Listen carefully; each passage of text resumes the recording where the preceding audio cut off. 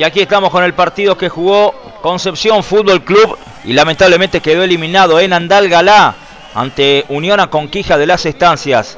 El recibimiento para el equipo del Tano Rillo que va a encontrar la ventaja al minuto de partido. Con este gol de Martínez, Diego Martínez y el 1 a 0 para complicar las cosas a Concepción Fútbol Club. Recordemos en la ida había ganado el equipo catamarqueño por 1 a 0. En el complemento de cabeza Lucas Farías marcaba el 2 a 0. Llega el descuento de Concepción a través de Walter Arrieta.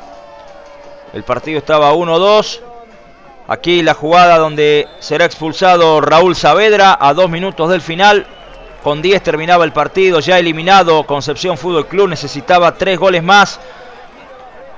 Y de contra, Villalba Frete se enganchó, desparramó la defensa al arquero y definió. De esta forma, el equipo catamarqueño Unión a Conquija pasó de ronda y se metió en los cuartos de final.